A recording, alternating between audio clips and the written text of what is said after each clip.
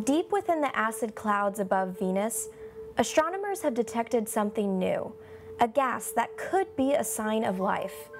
The gas is phosphine, a toxic molecule with an odor of garlic and dead fish. Astronomers discovered the compound in a cloud layer where temperatures are fairly close to those on Earth's surface. Phosphine is exciting because of where it comes from.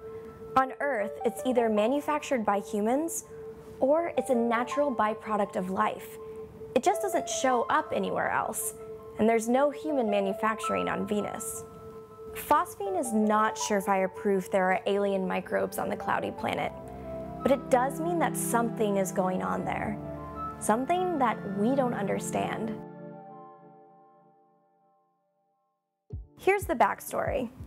Late last year, a team at MIT put out a paper calling phosphine gas a biosignature, a substance that may come from life on another world.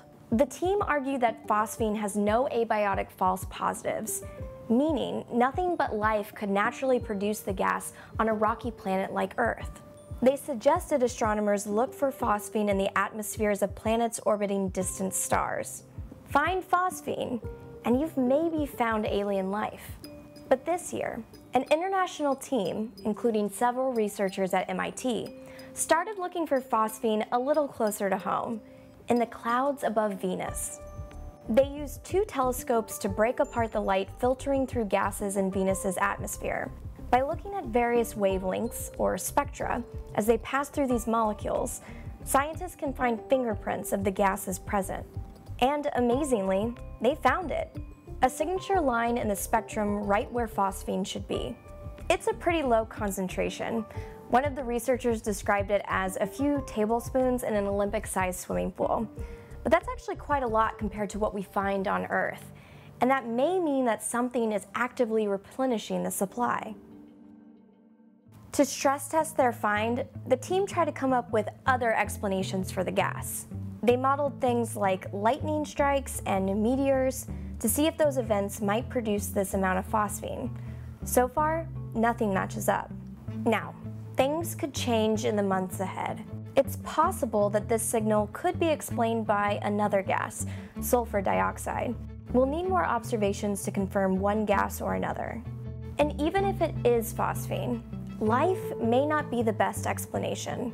Venusian clouds are a nightmarish place for life to survive.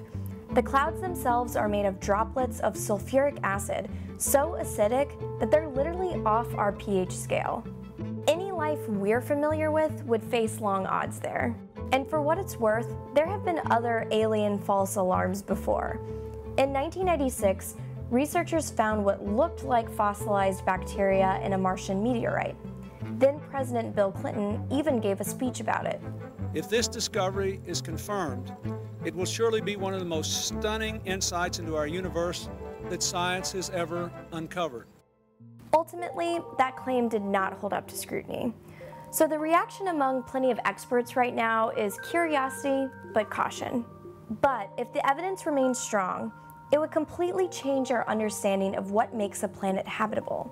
Today, we focus on planets that look a lot like our own, but Venus may tell us we need to expand our search. It would also raise Venus's clout as a place to visit. Mars has gotten a lot more attention over the past few decades, but phosphine could inspire new microbe hunting missions to the cloudy planet. For now, this detection is just the beginning of a long journey for astrobiologists. There are no definitive answers about the presence of phosphine or the way it's created, or the question of whether or not we are alone in the universe. This is a big story that's sure to generate a lot of hype, so be wary of any scientists have found aliens on Venus type headlines. Let us know in the comments what you've seen and what you think of this story, and thanks for watching.